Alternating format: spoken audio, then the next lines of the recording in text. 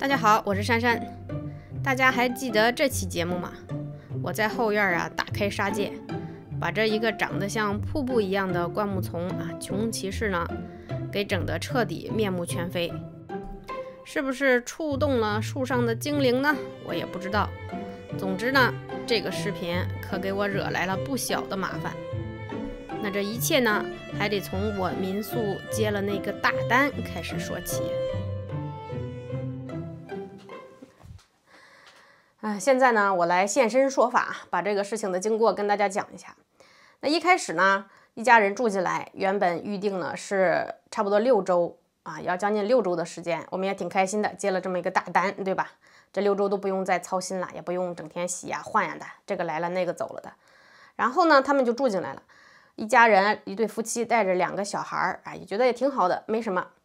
然后他们要回迪拜了嘛，所以之前房子可能退掉了，他的理由是这样啊。然后呢，就住先住一个月啊，到时候就走了。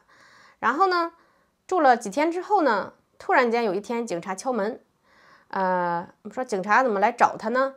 说呢他在外面超速，说这家人的男主人啊在外面超速，他们当时扣了他的驾照啊，现在用完了给他还回来。哦。觉得也没什么大事儿哈，当时呢，警察来了，我们就告诉他，跟警察一起把他的驾照还给他了，嗯，也没有什么大事儿。但是当天晚上呢，这个人家呢就说要提前走，说是这个她的丈夫呀心脏那个有病，要做大手术，要要提前走。本来是定六周的嘛，说要等于住两周啊，两周走。当时呢，其实按照规定哈，他们已经住进来了，在 check in 了之后就不能再退房了。而且呢，他又退那么多，嗯，但是当时考虑到呢，呃，他又有病，对吧？嗯，然后这样也不好啊，就就同意他退房。但是呢，之前他住超过一个月有个折扣，有个百分之二十五的折扣没有了。然后呢，等于他住两周嘛，就按原价，我就说没有折扣了，就一天一百八纽币的钱，你就这么付。当时他也同意了啊，都挺好的，协商的没问题。但是呢，过了两天之后呢？有一天我在花园里就是录那期视频的时候呢，啊天气特别好啊，他们有一位长者呢，好像来探望他们，但是很奇怪的就是，呃探望他呢，我当时在花园里拍呀什么的，他们见了我都打招呼啊，都说话都没什么，哎天气挺好啊，我说花园啊，我就拍，他们也没觉得什么问题，但是呢，就好像那位长者进去之后呢，就把突然间把窗帘都拉上，然后在里面就好像嘀咕事儿，也不知道什么事儿，然后出来之后呢。就那个长者就走了，走了之后呢，当天晚上他们就收拾行李，就跟逃荒一样的逃跑了，走了，然后给我留下这个留言，就说，呃，我们今天晚就搬走了。然后我给他回复，我说，哎，不是还要过一个星期吗？等于他们要住两个星期，才住了一个星期，怎么这么着急走啊？当时呢，我觉得他们可能有手术日期有改变或者什么，也没觉得什么问题，走了就走了呗。但是第二天呢，我们的 Airbnb 的账户就被封了。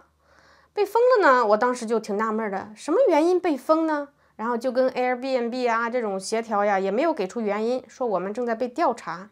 说调查什么呢？好像很严重的事情，不严重也不会封我们的这个账号，对吧？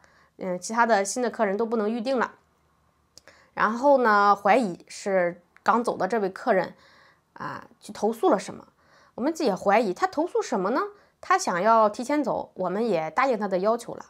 嗯，觉得他没有什么可抱怨的了呀，然后呢，就给他发了个短信，然后正好他有的罚单呢寄到了，他超速的罚单就觉得，呃，利用这个机会问问他，你的罚单到了，还有就是对我们的这个啊 Airbnb 有什么有什么不满意吗？有什么反馈吗？然后他就说，你们偷拍我们，你们放了什么三百六十度的什么呃隐藏的摄像头来真来拍我们。然后一听我们就一头雾水啊，觉得这是哪儿跟哪儿啊？呃，但是确认的就是肯定是他啊，这个投诉才导致我们账户被封的了。然后呢，就希望呢这个事情呢赶紧的 Airbnb 调查呀。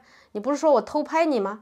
呃，他说他也报警了。我说挺好的呀，报警啊，警察来查呀。因为在新西兰，你要是在啊这种自己的民宿里面放摄像机拍人家，那警察肯定来了，这是刑事案件了，那那不得了的呀。那赶紧的，警察帮我们解决呀！结果警察也没来，怎么等也不来。然后呢，跟 Airbnb 协调呢，Airbnb 就问了，然后我就说他说我有没有拍他？我说我在花园里拍过花园，但是当时我们还在说话，没有任何误会啊，所以我也没有对着他们的房间来拍。再说这个摄像，我在摄像是在花园里面，是在这个他们的居住的地方的外面。说到维权呢，啊，大家看一看啊，我这个背景是不是有点熟悉啊？啊，在新西兰的小伙伴儿，呃，的确呢，这是 Eric 啊，我家先生。我们家的刑事辩护律师做小红书，经常用这个办公室来录节目。如果在新西兰的朋友呢，有可能刷小红书刷到他。嗯，他现在是在做刑事辩护啊。如果有需要的朋友，可以去这个联系我啊，或者直接联系他也行。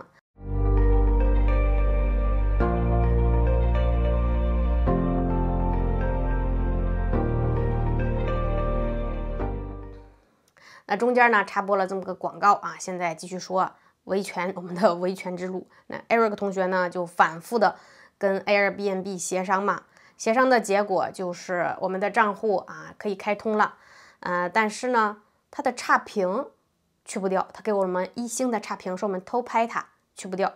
那个这个事情呢就造成了轩然大波了，因为周围有很多做 Airbnb 的新西兰本地人，然后也是关注我们家的事情。然后他们看到我们有这么一个一星的评价，然后里面还写我们偷拍房客，然后他们就不能理解，然后就联系我说怎么回事儿？啊，有个人还特意租了我们家几天房子啊，要来看一看究竟怎么回事儿。因为在新西兰，你要房客要是在屋里啊，或者是偷拍这个客人，针孔摄像机之类的，这是很严重的刑事案件的呀，怎么可能允许这样的事情存在呢？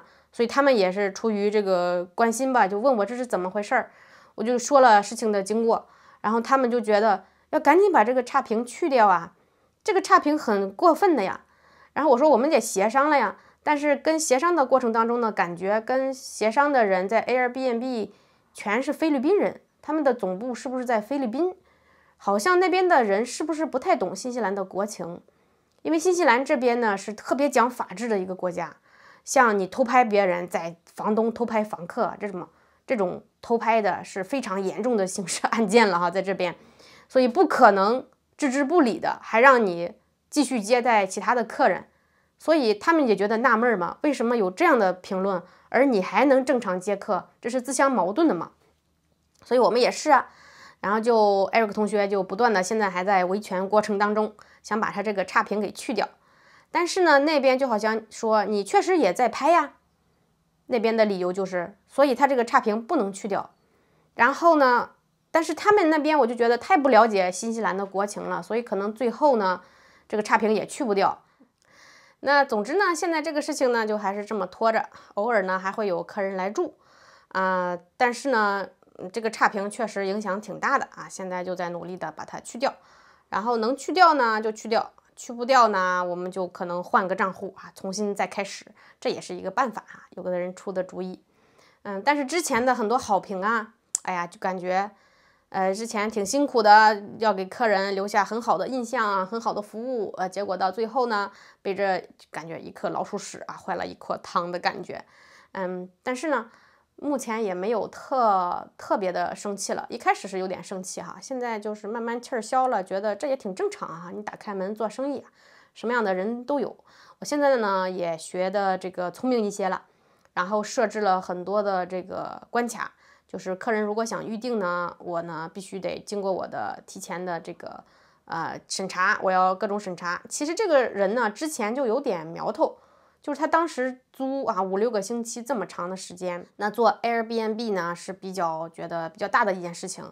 我总要问问你过来是什么目的啊？你是什么目的到我们这附近来啊？